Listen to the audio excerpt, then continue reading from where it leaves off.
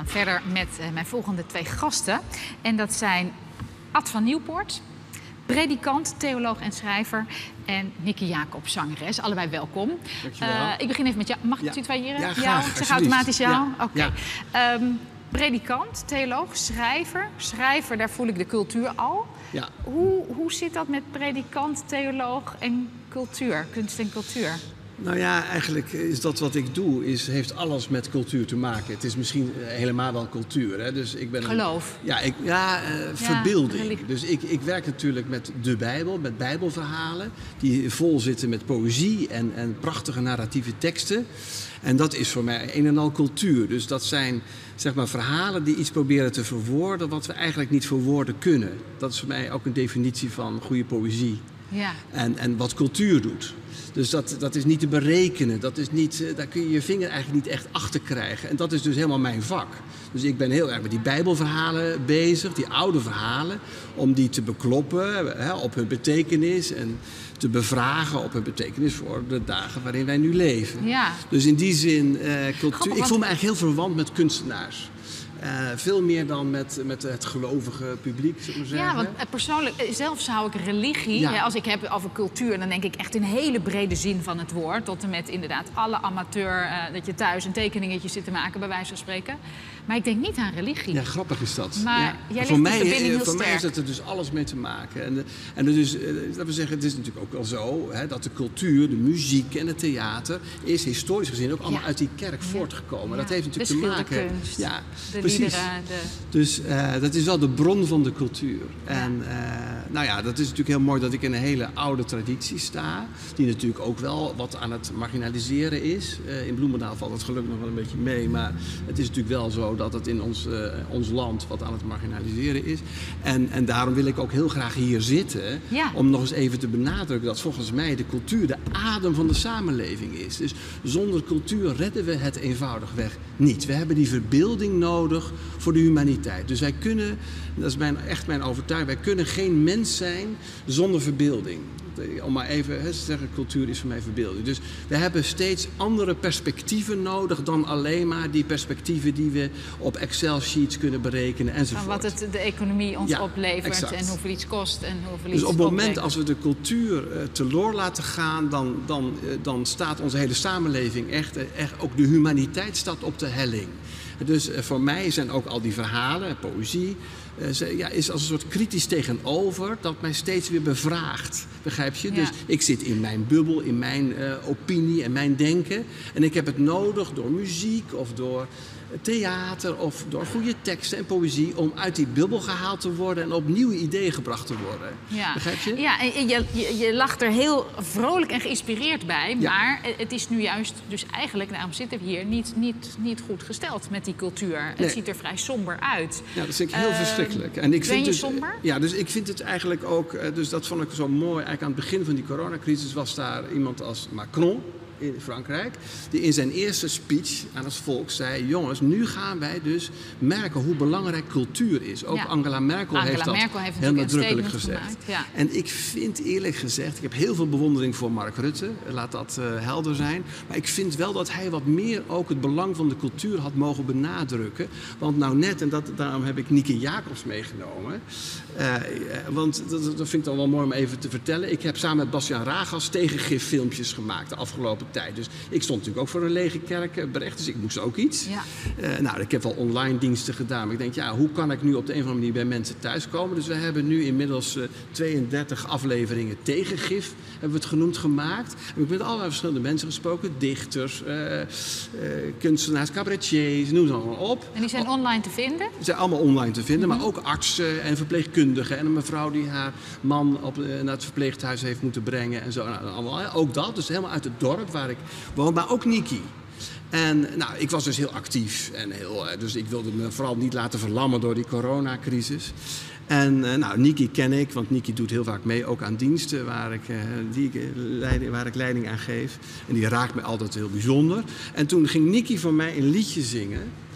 En toen brak ik helemaal oprecht. Dat ben ik helemaal niet gewend. Ik ben helemaal niet zo. Uh... En toen dacht ik, hé, hey, wat, hier nu, wat hier nu gebeurt. Dus ik heb eindeloos naar persconferenties zitten kijken. Ik heb naar dat coronanieuws zitten kijken. Ik heb erover geschreven. Ik heb erover gepreekt. En ik heb, maar de emotie? Maar de emotie, uh, ik werd echt diep geraakt. En was, we zaten echt in tranen. Dat was een beetje een toestand ook. Maar door dat lied. Dus zij, zij, deed, zij kon iets doen wat al die, wat die cijfers, die mortaliteitscijfers, ja. allemaal niet, niet bij mij konden. Ik zat allemaal naar die cijfers en, steeds te kijken. En toen Nicky ging zingen, zei ja, dit, ja, dit, dat maakte iets in mij los. Toen dacht ik, ja, dit is het precies, begrijp je? Dus we kunnen allemaal heel erg met elkaar praten. Want jij bent normaal niet een, een huidbalk, zeg maar Nee, helemaal niet. Nee. Dus, dus dit was... Nee, uh, dus bijzonder wat er ik, gebeurde. Ik, nou, als ik nu terugkijk op de afgelopen weken, is dit voor mij eigenlijk het hoogtepunt geweest omdat het voor mij ook een, een, een, een, ja, bij wijze van spreken een soort uitlaatklep was om echt bij het gevoel te komen dat ik namelijk zelf ook had. Welk gevoel was dat? Nou, het, van verlies.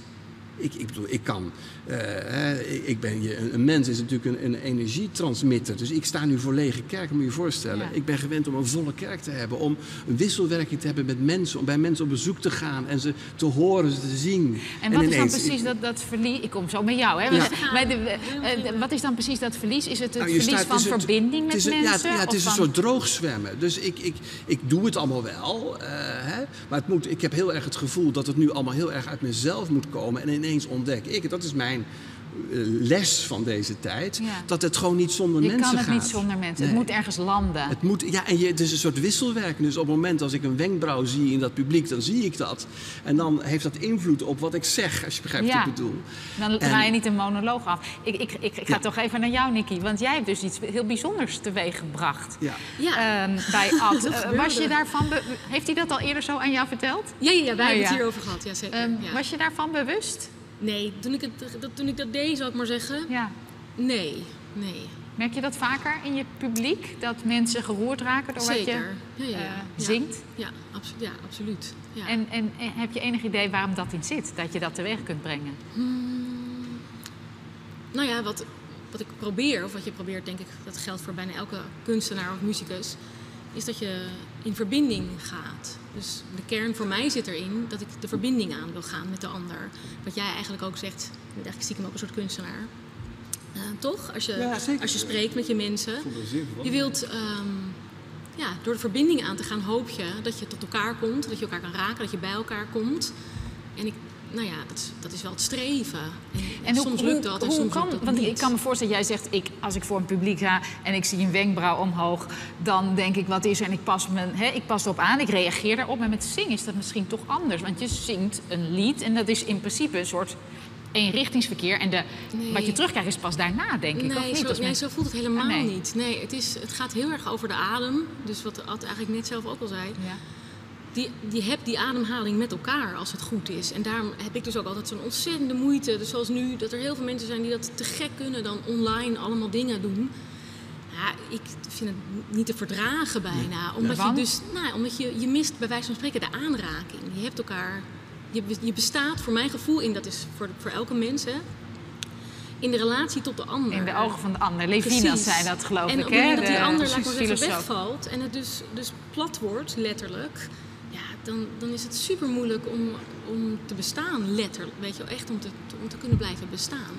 Dus je hebt de ander nodig. Ja. En, en, dat besef, dat kan misschien alleen maar, zeg maar zo'n liedje losmaken. Teweeg brengen. Of een, of een mooi gedichtje. Ja. Je zegt, ah, dat is precies wat ik zoek. Ik, ik, hè, ik heb er heel lang over nagedacht. Ik kon de woorden niet vinden. Maar nu krijg ik de woorden aangereikt. Of ik, hè, jij jij put natuurlijk ook uit een hele lange traditie. Een Jiddische traditie, Joodse traditie.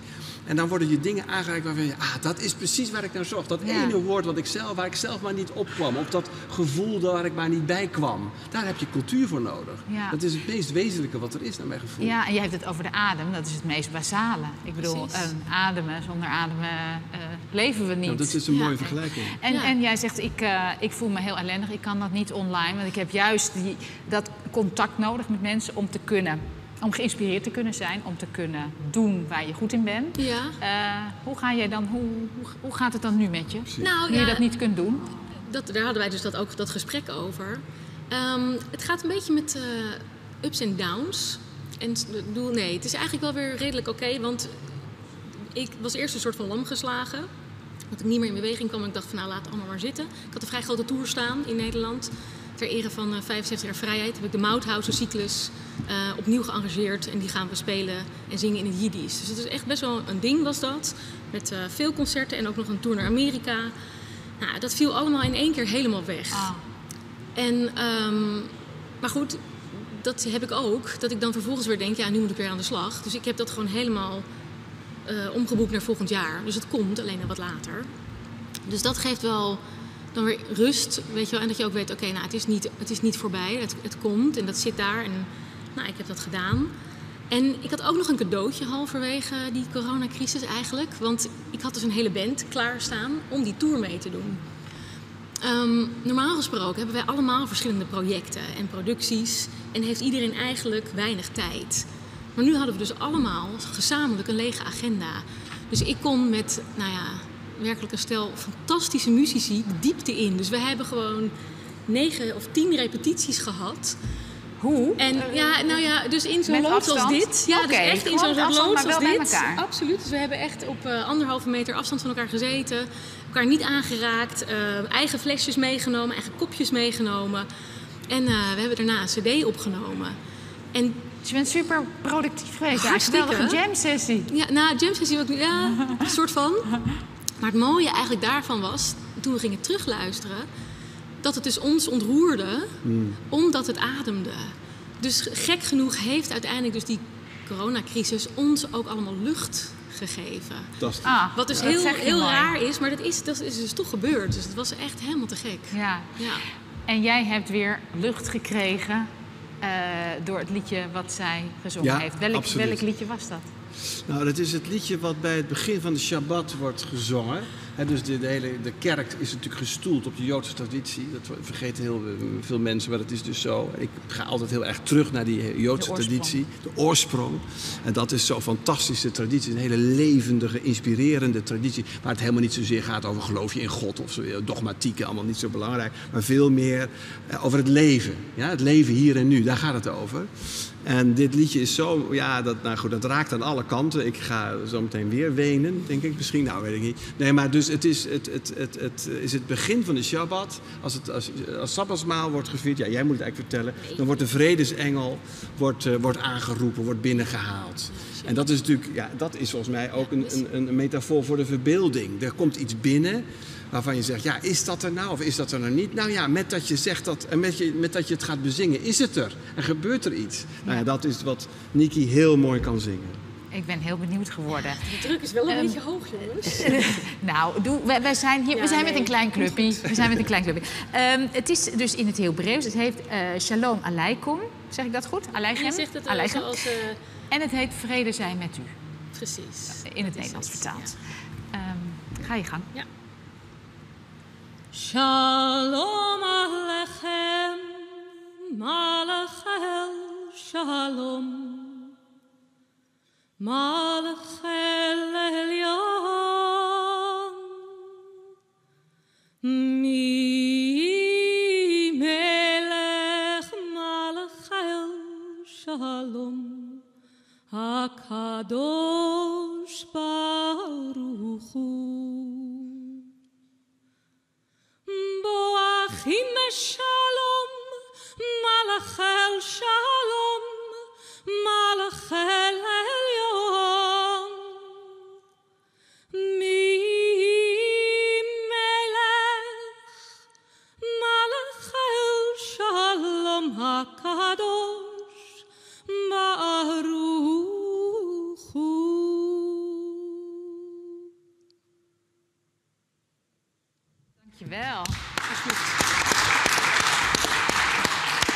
was nog helemaal niet uitgeluisterd eigenlijk.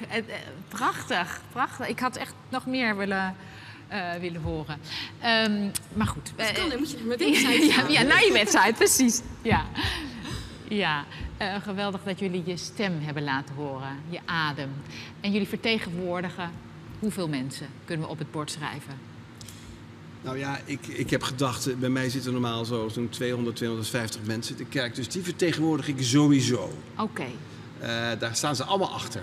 Daar ben ik Heel van goed, overtuigd. dat heb je ze gevraagd. Ja. Nee, daar gaan we vanuit. 250 mensen. Ja. En jij? Ja, ik een stuk of acht, denk ik. Oké, Ja. dan, dan tikken we af 258.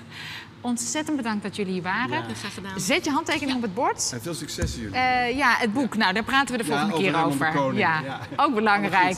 Volgende keer. Dank voor jullie komst.